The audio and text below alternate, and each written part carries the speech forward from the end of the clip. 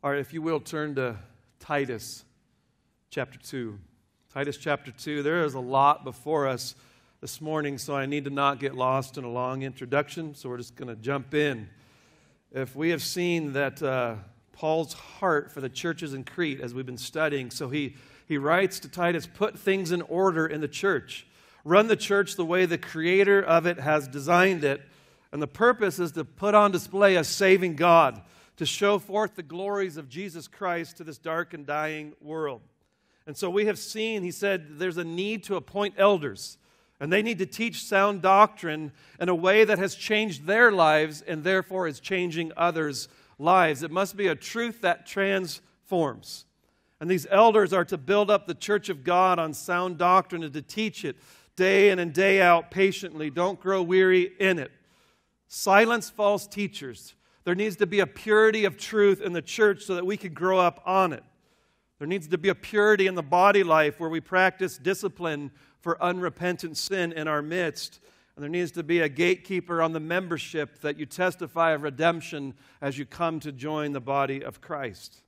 And so, what this does is it makes for an atmosphere for discipleship relationships then to blossom and bear fruit and to build each other up into godly men and women. Life on life, it is, it is beautiful what Paul is laying out for us in Titus. And so I said last week, this is the apologetic of Christianity. Lives that proclaim to this world we worship and serve a God who saves. Our lives silence the critics instead of fuels them. Do you want to be that kind of a person? Find someone who's walked with God and knows Him and is manifesting it in their life. Get up next to them, get around their families, coffee, get into each other's lives.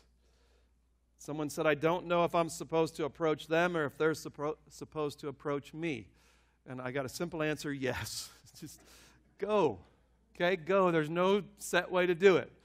Just everybody engage and go and a culture that thinks and builds and pours into each other. We need each other to grow so we can put a saving God on display. Look with me in verse 11. This is where we left off last week. Titus chapter 2, verse 11. For, um, that's not how you start a sentence. It doesn't stand alone, then, it's building on an argument. And I've seen this verse preached so many times. Don't miss that for. You could translate it because. In verse 10, uh, don't be pilfering, showing all good faith at work, employees, so that they will adorn the doctrine of God our Savior in every respect.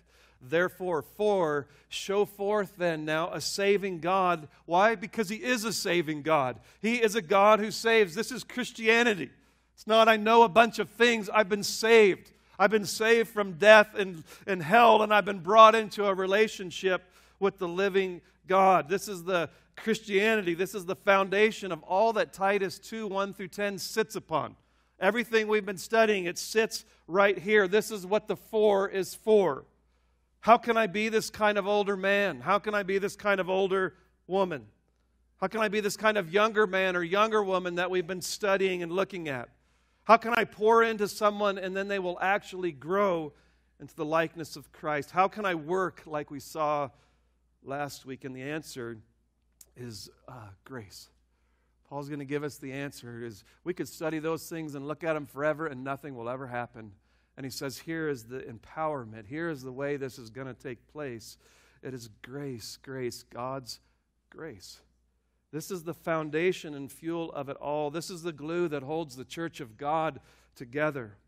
This is why we will be a light in a dark and dying world, is because of grace the grace of Almighty God. And so I want to begin with prayer. Every one of us, let's take our hearts before God for this grace. Father, we come before you and we have been studying your word. And apart from your grace, it would just command us to do things, and we would never be able to do it. But now, Lord, you give us wings and you give us uh, freedom in Christ and strength and empowerment now from the very God Himself. Lord, we have grace, deep, flowing, abundant grace. And I pray this morning that you'll open our eyes to see it clear and more beautiful, and that that would be the, the atmosphere of Southside Bible Church. People who are taken up with grace. People who live in it, they live in enabling grace as they abide and commune with the living Christ. Oh God, the fruit that will flow in this uh, building will be so beautiful. It will flow into the nations. And so, God, we look only to you. We don't look to our own hands, our own strengths, our own plans, our manipulations. God, we look to you alone for grace. We need you to do this in our midst. And I thank you for it. I thank you that you are a God who is gracious. If you weren't, we would have no hope. So, God, we praise you and we worship a gracious God here this morning corporately. Amen. Well, grace, it's a very hard word to define. It's so big and encompassing that it takes a whole Bible to define it. And then Paul says that's just a mirror dimly. So we, look at it, we love it, we treasure it, and it's just all, we, all we're seeing is in a mirror dimly the grace of God. One man said grace as a mnemonic, it's God's righteousness at Christ's expense. Another one we all grew up with is it's God's undeserved and unmerited favor. One man said God's free merit to bless sinners eternally.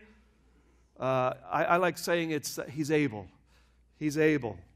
And I bet some of you have some great definitions of how you've tried to get such amazing truth into words. And all of those have some beauty to them that I just read. Yet in our text, it's not so much a word to be def- uh, defined, but you know what Paul does? He, he personifies it. I'm not going to put it into words, but rather that the Word became flesh. Michael Card wrote a song. He spoke the incarnation, and so was born a baby who would die to make it mine. Here it is. Here is the Word. You want to understand grace? Then look at God incarnate. Just look into the face of Jesus Christ. The attribute of God that is called grace has been made manifest in the Son of God. Look at him. You want to see grace? Look at Jesus Christ. He is grace personified. He is where we see it, find it, understand it, uh, receive it. And I love what Paul says the grace of God has appeared in verse 11. It, it has appeared. That word means it's become visible. The grace of God, the eternal word, has come and, and come onto this earth and we see this grace all wrapped up in the person of Jesus Christ. Grace is personified in the Son of God. I want you just to listen to a couple thoughts here. Uh, Paul wrote to Timothy in chapter 1, verse 9. He said, He saved us and called us with a holy calling, not according to our works, but according to His own purpose and grace, which was granted us in Christ Jesus from all eternity but now has been revealed by the appearing of our Savior, Christ Jesus. It, grace is it's, it's been appearing. He's appeared and he's brought it and he's shown us. And in Titus 3, in the next chapter, he says, but he personifies kindness. But when the kindness of God our Savior and his love for mankind appeared. So, so grace is personified in Christ, kindness and his love for mankind is personified in Jesus Christ. He appeared, he saved us, not on the basis of deeds which we have done in righteousness, but according to his mercy by the washing of regeneration and renewing by the Holy Spirit. And so I want you to just hear that grace shines in the face of Jesus Christ. John said that word, that eternal word. In the beginning was the Word, and the Word was with God, and the Word was God. And that Word became flesh, and it dwelt among us. And we beheld His glory.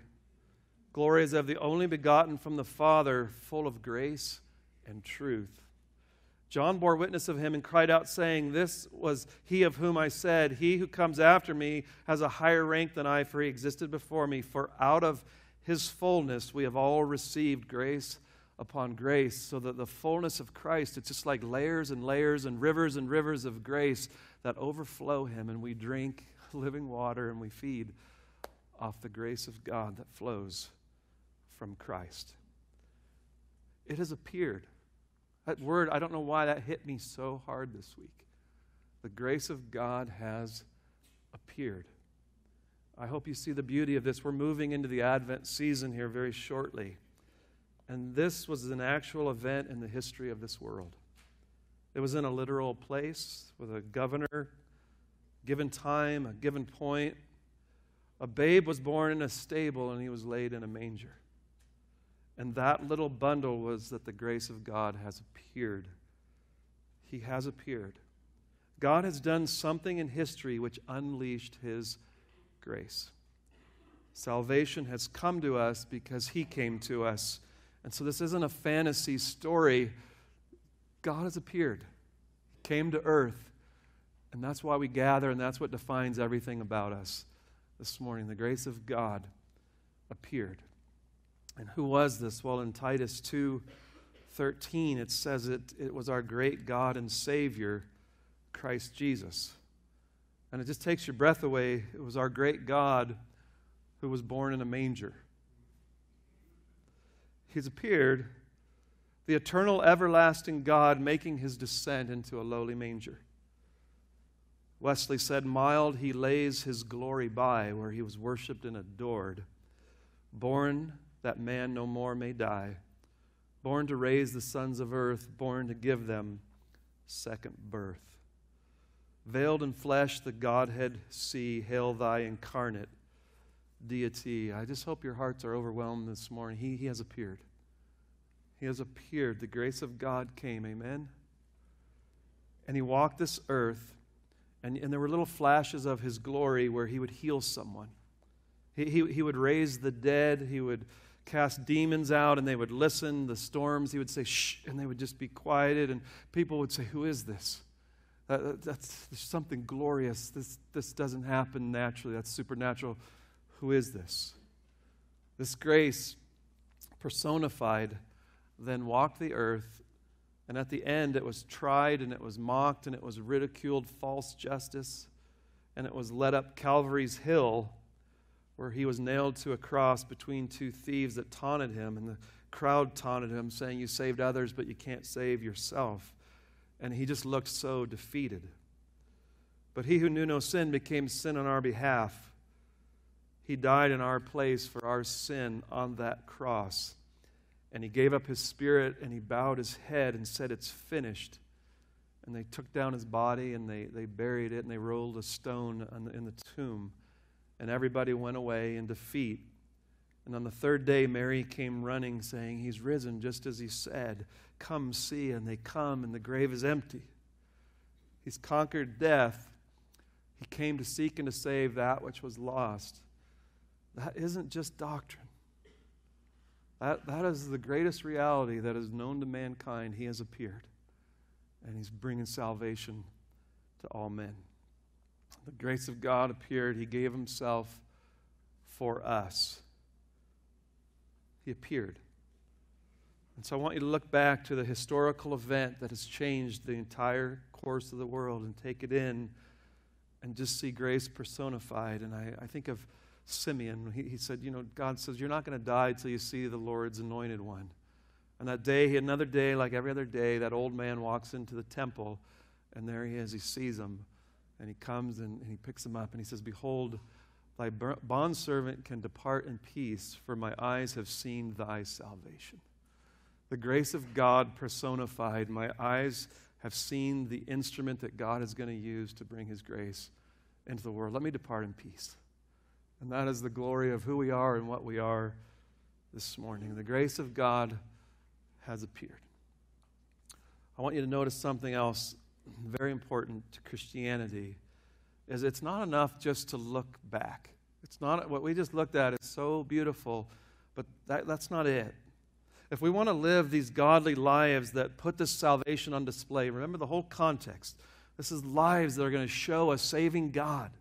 And if we want to do that, we have to put uh, our focus and our minds and our eyes and our thoughts in two places. We have to look back to that glorious thing. His grace appeared, but I've got to look forward to His grace is going to appear again. That is the only way to have a present godly life that is zealous for good deeds in verse 14. So, if you want to be zealous for good deeds, if you're dead, you're cold, you don't care, your problem is you need to gaze again at the grace of God that appeared and the grace of God, the glory of God that's going to appear a second time. So, Titus 2 1 through 10, if we're ever going to get those kind of relationships, it's because we're a people taken up with a God who has appeared bringing salvation and a God who's going to come and settle it all and consummate all of history. That is the only way we're ever going to be this kind of a people. This isn't a moral cleanup, fix up, be a nice guy club. It's a group that's taken up with the two comings of Jesus Christ. There are several ways that I see people in the church missing this where we just look back and all we do is we live in past grace. And, and that's all we're about. And all we think about is, is the past grace that came in Jesus. Nothing more, nothing about the present, nothing about the future. And you live any way you want, and you usually live awful and lawless because all I am is in grace. Nothing else matters. That is going to be a big mistake. And then there are those who just look at the here and now. Christianity is all it's offered is what it gives me now. It's, it's Christianity as I'm going to love and I'm going to make a difference in the world. And we're going to focus on discipleship and we're going to do all these relationships. And that's all we're going to be about. And the church just lives and focuses on that.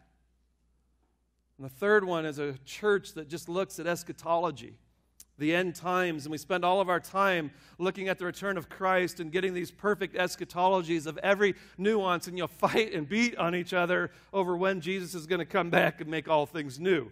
And so you can just be in a church where that's all we talk about. That's the only focus. And I'm telling you in Titus, none of these alone will ever get you a Titus 2 life. None of those in isolation will ever produce what Paul is after on the churches in Crete. It will never get you a whole community called the church. Uh, adorning, uh, that, that word adorn means cosmeo. And I'm going to leave that alone for examples this morning.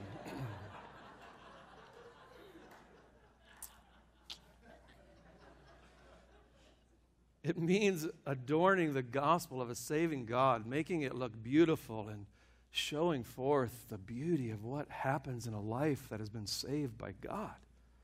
So look back. Look back often and deeply and meditatively and understanding.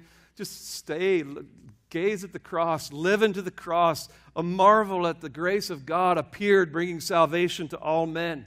And be a people who keep looking forward on a daily basis. Could today, could today be Maranatha? Come, Lord Jesus. Oh God, this could be the day. I keep my eyes. My hope is not my kids graduating high school. My hope is Jesus Christ returning and making all things new. Verse 13, looking for the blessed hope and the appearing of the glory of our great God and Savior Christ Jesus. We're a people caught up in both of those hopes. We look at both. We live in them. We think. We build our lives. They're, they're, they're everything to the believer. Jesus Christ this morning is at the right hand of God presently in victory. And he is coming to this earth again, and you cannot stop at his first coming. So many like to leave Jesus as a cute little baby in a manger and how cuddly he was and the angels singing. That is not very threatening. But I want you to look at the difference between these two comings in our text. In verse 11, the grace of God has appeared, bringing salvation to all men. It's, it's, uh, it's for all men right now. This is the issue. Christ has come, bringing salvation to all men by coming in humility and dying on a cross. Cursed is everyone who hangs on a cross. Jesus Christ hung cursed for us on a tree. But the appearing, he says, of the glory of our great God and Savior, Christ Jesus. So, one, he came like a little lamb to be slaughtered, and the other, he'll come as the lion of Judah. There is no greater contrast than the two appearings of Jesus Christ. Just, there, there's, there's no greater contrast the first and the second coming of our Lord. The second coming will be visible just like the first appearing, it will be here on this earth. But this time he will come in glory, and he says, full glory. And this time it's not going to be eclipsed with a, a, a veil of flesh. He's going to come for all to see the radiance of God's glory in Jesus Christ. And it will not be that we should not look upon him because there's no stately form or majesty as the first time. This time he's going to come in glory. And when he came the first time, he would give little glimpses. On the Mount of Transfiguration, Peter, James, and John, they see him transfigured. The flesh pulls back and they see it. Paul, going to kill the Christians on the road to Damascus, got a glimpse of that glory, and that man was never the same based on that glory. In Revelation 1, John gets a vision. I preached on it at Easter. Uh, and you just see him in all of his glory and radiance and beauty of that portrait in Revelation 1 and John falls as a dead man at the presence of it. And so, the second coming, everyone will see his glory. Every eye shall see him in, in a blazing, uncovered glory. He's going to bring an end to the day of grace that he initiated at his first coming, that was manifested at his first coming. And the free gospel that has been offered for thousands of years to the nations and even to your own heart here this morning of pardon and adoption, it's going to come to an end. There, there's a day of grace, and it will come to an end. And he will come to judge the living and the dead, and to judge the world in a perfect righteousness. And all the books will be opened of your lives, and he will destroy all of his enemies. And those who rejected him and spurned his free offer of grace will be cast away for all of eternity but he says, for the believer, we're looking for the blessed hope. This is a blessed hope for the believer. It almost can show if you've been born again is whether it's a blessed hope or just something that has you terrified and you don't want to think about it and you busy yourself in this world. You turn up your music in the car so loud you can't think because I don't want to deal with this. Don't, I don't want to think about it. Don't talk to me about death. You, you're, you're bothering me right now, Pastor. But for the believer, it's like this is the blessed hope. This is what I live for. This is my dream. This is where my eyes are fixed. Where He's going to come and He's going to bring in a new heavens and a new earth where, wherein uh, righteousness dwells. And sin and evil and shame and everything that is wrong with this world will be gone and it'll be banished. And everything will be new and it's going to be glorified. And that is the blessed hope of every believer. It's not to make Denver paradise the hope of the believer is what Jesus is going to come and usher in at his second coming. And so I just want to ask you a simple question What is it that you're waiting for? What, what is it that you're waiting for this morning? And I pray that your, your greatest burden is you're, you're waiting for friends who will love you. You're, you're waiting for that job that you've always dreamed of. You're, if I could just get this one spouse, this, everything would be perfect if I could get that house on the hill. And some of you, your hope is retirement. And we talked about that last week, so I'll leave it alone. Retirement. Is that what you're waiting for? Be honest before God. Is that your blessed hope? If it is, you will never live the way Titus 2 is instructing us. You're going to keep giving me excuses why you won't do Titus 2. And I've heard a bunch of them. And when he appears, you're going to be sad that you use those excuses. When you've seen the grace of God appeared and that it's going to come again in glory, it makes you zealous for good deeds. And all these excuses, they're just not going to work. They're not going to work. We live godly lives because we're looking at two things. We're looking at the cross that has a wonderful attraction to me I'll cling to the old rugged cross until I exchange it one day for a crown. I'm going to hold it and look to that all my days. And I'm going to look at the blessed hope of the new heavens and the new earth, and I'm going to see them. I'm going to see them with my own eyes and be glorified. This is the way that we will live godly and righteously. This is what is to fill our heart. This is what sound doctrine teaches. This is what our relationships must encourage as the foundation of life and godliness. If we just spend time together and that isn't what we're locked on, we won't help each other. The, the beauty of engaging lives and pouring into each other is that we're caught up in those two advents. And that's what we're feeding and encouraging and helping each other to live godly in this present age. To remind each other that the grace of God has appeared, bringing salvation to all men to remind one another that the glory of God is going to appear soon. It's imminent, and He'll make all things new. That is the blessed hope. And the failure of our age is that we are taken up with this age. We've failed. Christianity has become a religion that helps us live happier lives in this world. I want sermons on stress. All, all, I care about is what will make this life easier and better and, and just more usable. And we get God's blessing so that life will go well. And we're about helping people right now. And I'm not against that, but I'm against just that. About making life better. We don't want to leave it. I don't, I don't see many people who want to leave it. I'm so busy trying to make it better and easier, I don't ever want to leave it. We fight so hard to stay. Our blessed hope is life, liberty, and justice for all. Some of you are falling apart with this president thing. Stop. Your blessed hope has never been a president of the United States, and you know that. Quit fighting and arguing and trying to take each other out with arguments of who's a better person as president. You're all wrong. it isn't this. And that is why we're not showing forth the world as saving God. That's why they're not wanting to say, I want to know this God that saves. There's something so radical about you people. Your citizenship is in heaven. You don't fear and worry and run around where, wherever the stock market is, is where my hope is. You're a people that just you're different because your citizenship is in heaven. We look back at a cross didn't purchase us an American life with family and homes and educations. That isn't what the cross did. It isn't that we deserve a country that holds up our Constitution and will fight it. America the beautiful. No, that's not a blessed hope. We have a blessed hope that causes us to deny ourselves in worldly desires. The secularism of the church, the secularism of our church, going to kill us. So I start with a finger at my own heart, and, and it's some of yours. That isn't what Christianity is for.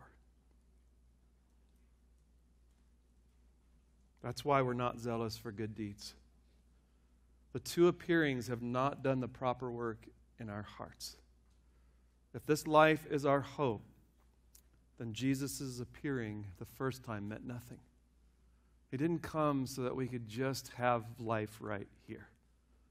We're waiting for what He's going to usher in. We have it already, but not yet.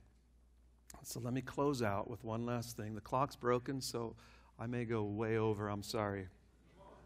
Thank you. so I want to close out with one last thing that we should look at. Is that we, we need to look at the first advent, and we need to look at the second one that's a coming. But it, this is important. You need to look at yourself. And that's kind of the opposite of what, we might, what I preach half the time is you look at yourself too much. But the, in a different way, we need to look at ourselves. And the question is, how has the gospel then come to you? What, what, is, what is the gospel meant to you? Has it done anything to you? Is it just some cold facts? I've had someone say, my, my testimony is I used to believe in evolution, and now I believe in creation.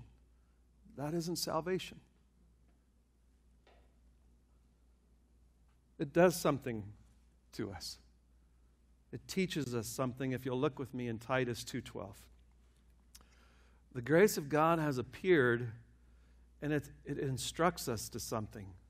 To deny ungodliness and worldly desires, to live sensibly, righteously, and godly in the present age. So it, it instructs us.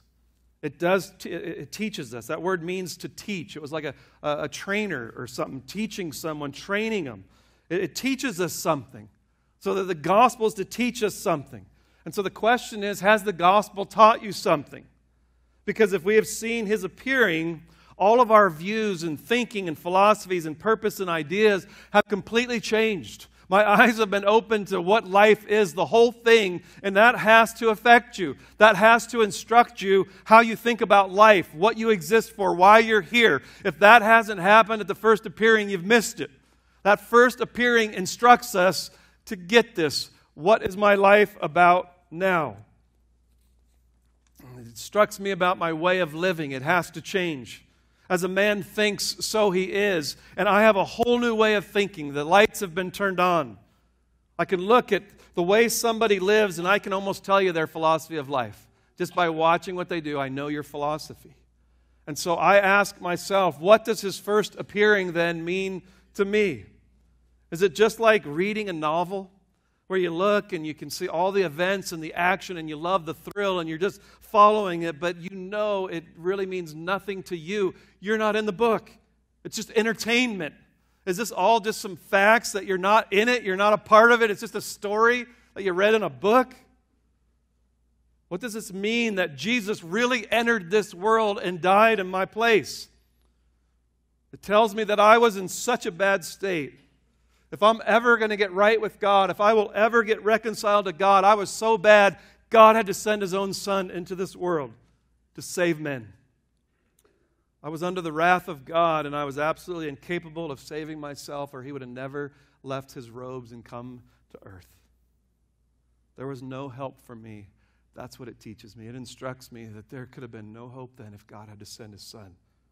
The Son of God had to leave glory for me. Have you realized the significance of this to your life? Have you made that deduction in your own heart?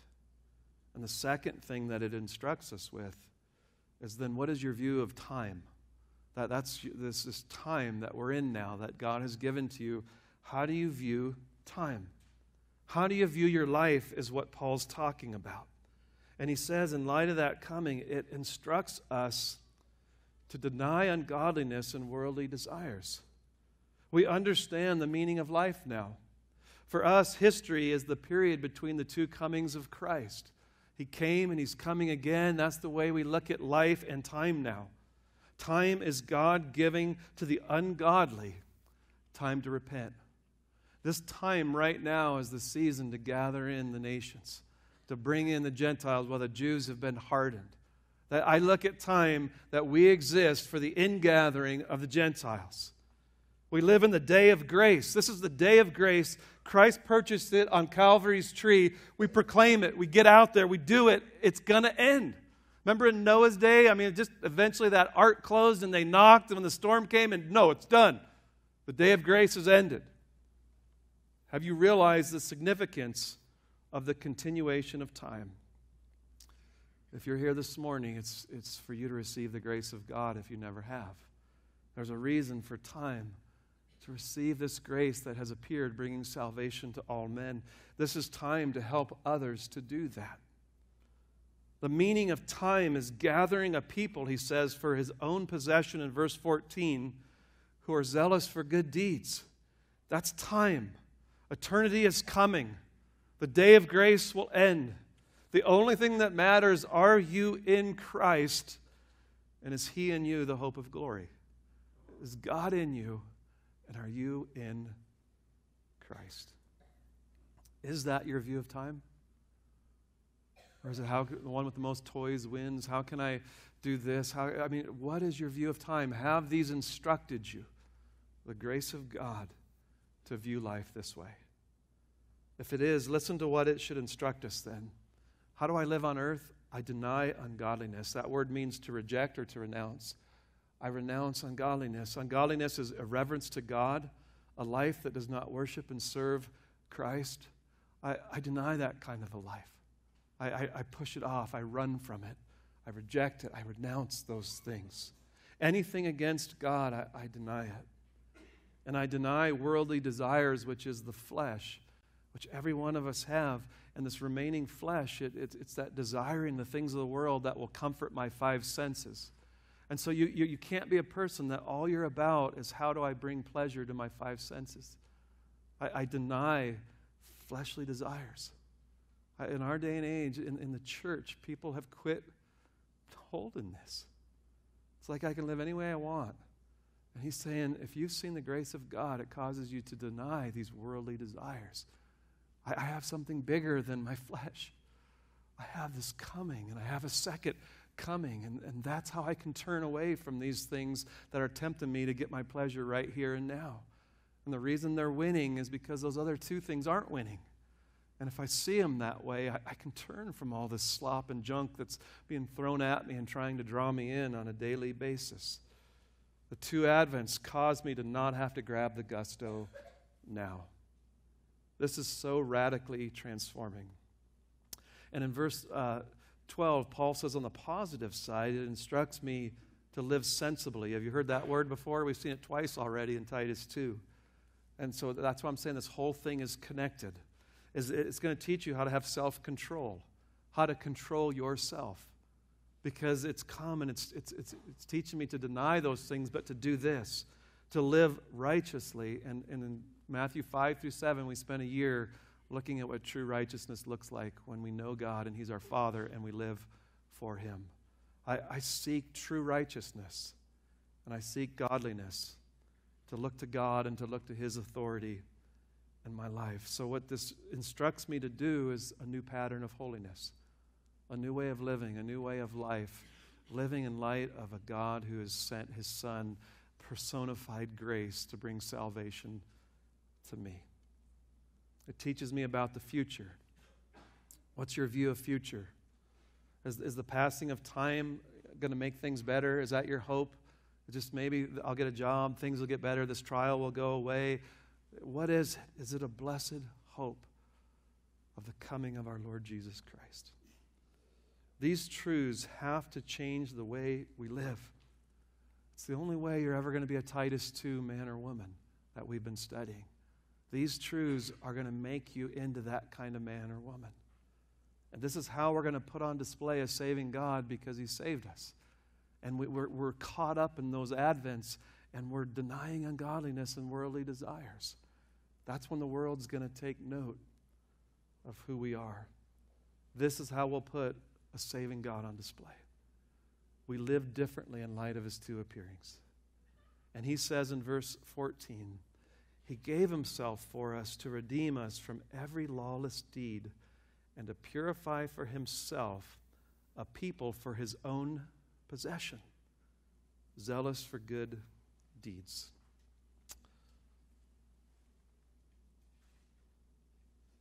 Makes you zealous for good deeds. So, are you zealous for good deeds? That's what he's saying this should do, this, this blessed hope of him coming back, is it, it makes you zealous to want to live right, godly, holy for God. And, and that's the Titus 2 relationships that we've looked at, is that's good deeds in this context. So if, if you just keep finding reasons why you're not going to do it, it's not these appearings making you say, I'm going to lose my life to love others till I die. I'm going to overcome my flesh. I'm going to give myself and deny myself and labor into the, into the saints of God to help them grow into the image of God. Are, are you zealous for good deeds? I, I don't like answers that are apathetic to good deeds. This is too beautiful that he, he literally came and he brought salvation. I just, I just don't understand giving him apathetic deeds. Does, does, ha, just before God, has it made your heart want to lose your life for the King who gave his life for you? That's what this is to bring about. Zealous for good deeds.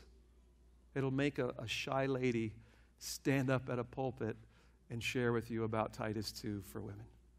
That she wouldn't have done that if Christ didn't appear. She'd have sat there with her husband scared in her seat. Zealous for good deeds. Martin Luther said this I live as if Christ died today. I live as if he was raised today. And I live as if he's coming back today.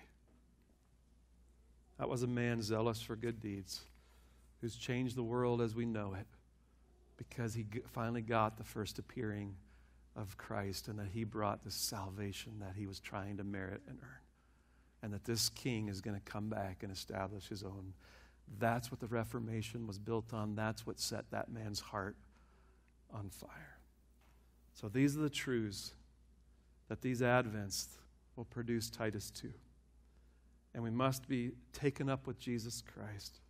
We have to be able to say, For me to live, if I get life, it's Christ. And if I die, it will be gain. I will get more of this sweet Christ. I, I can't wait for that. And in that, we will be a people who will be zealous for good deeds, denying ungodliness and living sensibly and righteous and godly in this present age.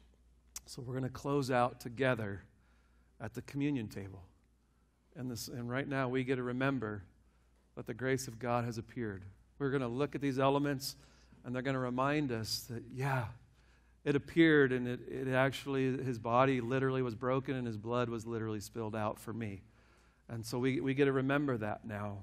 And Paul says, as he's describing this, as often as you eat this bread and drink the cup, you proclaim the Lord's death until he comes. So communion is this picture of two advents. And we come and we remember this advent that the grace of God appeared and what it brought.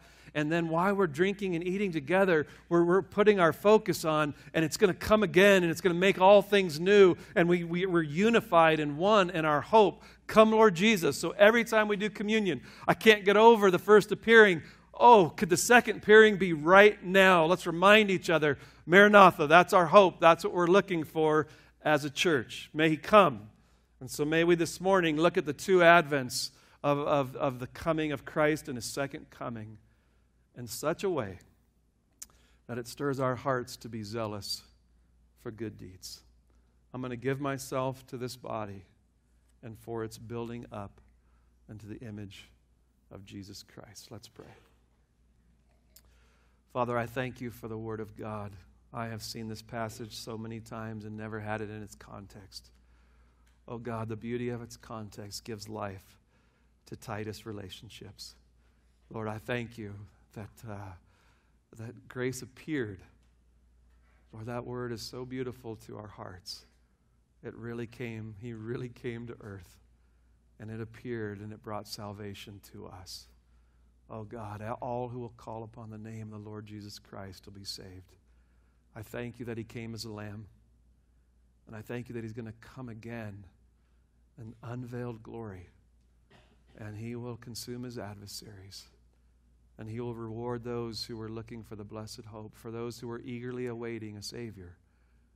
God, I pray that we would be those, that we are so taken up with the promise of what is to come. We live in light of it, it affects the way we live right now. And both those advents instruct us, they teach us, God to deny this ungodliness and worldly desires that characterize the world of people who can't see past the scene. And so, God, we are different. And I thank you that these Advents preach to me to turn from these things that are anti God, these things that are against what, what you have called you are and what you've established in your children. And so I pray, Lord, that we will keep our eyes fixed and that that will cause us to be zealous to lose our lives for, for you and for one another, and that we'll care and love and pour into each other's lives. That each life in this room matters to each and every one of us. God, thank you for the glory and the beauty. And when we do this, the world will see that we have a saving God. Lord, I pray that you would bring in a harvest by the beauty of what will be manifested here of people who love the advents of Jesus Christ. And it's in that precious, sweet, glorious name that we do pray. Amen.